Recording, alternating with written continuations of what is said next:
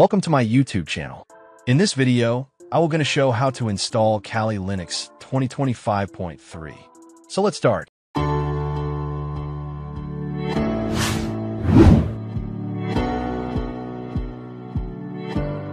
So we get the fourth update of Kali Linux this year. So the new version of Kali Linux is available on the official website of Kali. I will give the official website link in the description below. So first of all, you have to download the Kali Linux installer according to your hardware.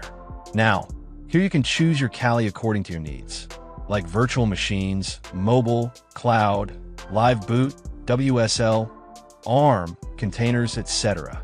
Here I am choosing the installer image option for the primary operating system. If you want to install Kali Linux in VMware or VirtualBox, then choose the virtual machine option. Now an installer image. You can download the ISO image according to your system. You can select 64-bit architecture or Apple architecture. Now, download the Kali Linux ISO image. You can download directly from a web browser, or you can use a torrent. I have already downloaded the 64-bit Kali Linux installer, so I skipped this part. Now the second step is to download an application that helps you create a bootable USB drive. You can use the Balena Etcher to create a bootable USB drive. It is available for Windows, Mac OS, and Linux. Here I am using the Windows operating system. I have already downloaded Balena Etcher and made a bootable USB drive using Balena Etcher. Rufus is the second application where you can make a bootable USB drive. It is only available for the Windows operating system. And if you want to learn how to make a bootable USB drive in Windows, Mac OS, and Linux, please comment below. Now reboot your system and boot your machine from a USB drive. In my case, I have a second system, so I will switch the system here. In the BIOS setting, you have to make a USB as the first boot device, where you can press the function key to go boot menu. In my case, I will det the USB as first boot device in my system. Here I am selecting these options. And here I am going with you EFI mode.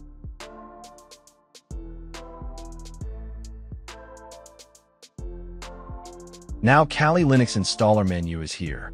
I'm using UEFI mode in this tutorial. Now the first step is to install Kali Linux 2025.3. Here you have to select the option of how you want to install your Kali. I choose here graphical install. Now here you have to select the preferred language you want for your system. Now select your location. It is based on the language you selected.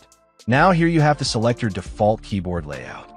It detects the installation media and loads the additional components. I am using an Ethernet connection in my system. But if you're using a Wi-Fi interface, then you'll get here a window where you have to choose your Wi-Fi. Now here you have to enter the host name for this system. Now set up the full username for this system. Now here set up a username for your account.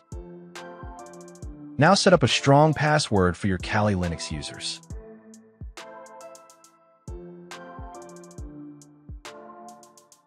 Now we have to create the partitions here. I am creating the partition manually, so I select the manual option here. Now we have to know about our partitions. I have EXT and NTFS partition because this is dual boot, where Windows 11 and Kali Linux is installed. I will using Kali Linux as my primary operating system, so my Windows 10 or 11 and Kali Linux will be deleted permanently along with its data. If you want your Windows 10 or 11 operating system do not follow this tutorial. Click on the I button where you can learn about Kali Linux Dual Boot or Kali on Virtual Machine. So I know we will continue this tutorial. Just double click on the partition and then select the delete the partition option. You have to follow the same process until you delete all these partitions. Delete all partitions one by one with the same process.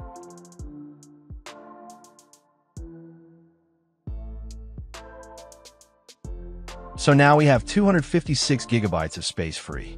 Now select free space and click on continue. Create a new partition. Now here set the space you want.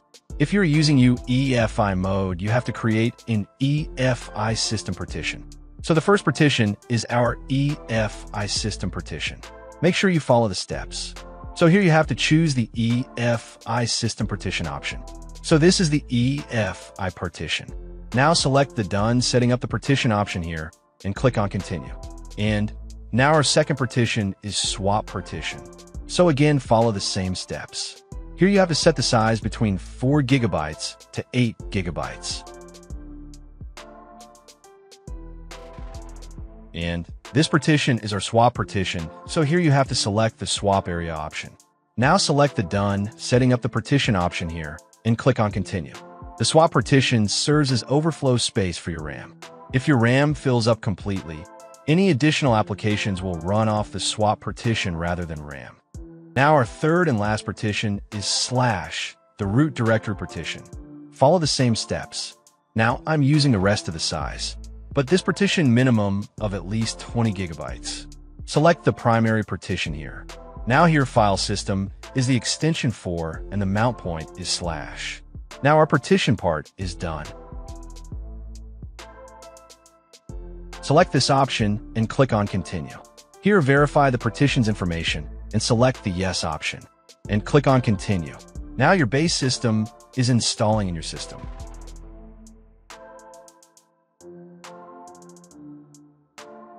Now here you have to select the options like which desktop environment you want.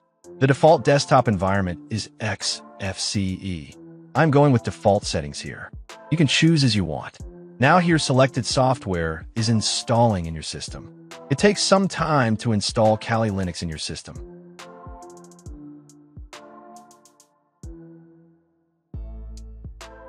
Now, our Kali Linux 2025.3 installation is completed.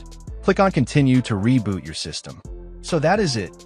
This is the way how to install Kali Linux 2025.3 on your machine with UEFI mode.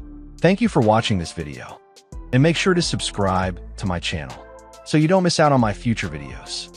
I hope you enjoyed this video, and I will see you in the next video.